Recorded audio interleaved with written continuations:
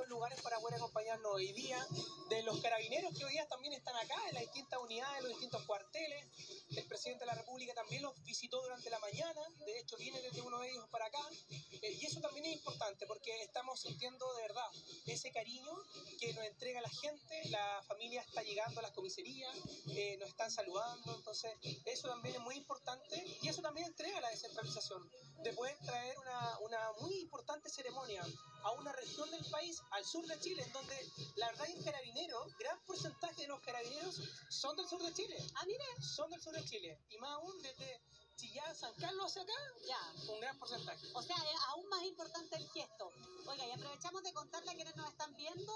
No sé si te percibe lo mismo, la temperatura ha bajado un poquito. Bajó un poquito. Sí, bajó un poquito, hay lluvia hasta ahora, 11 grados me marca aquí el termómetro desde Puerto Montt, pero es lo que se vive en el sur, ¿no? Nosotros que venimos más del centro, como que tratando un poco de acostumbrarnos a esto, pero en el fondo la gente que vive acá está acostumbrada a esta viven como distintos vaivenes de estaciones, acá así es el sur.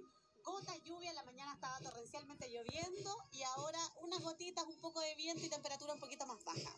Sí, y va a ser así durante todo el día. Cuando llegamos ayer también que nos recibió también con, con una niebla, frío, lluvia, pero, pero ese es el mensaje. Acá los más felices del mes son los carabineros, los dueños de casa, los del grupo formación, porque ellos este lo viven todos los días. Acá corren, acá se forman, acá estudian, acá se preparan, acá hacen su práctica, acá sa- salen a servicio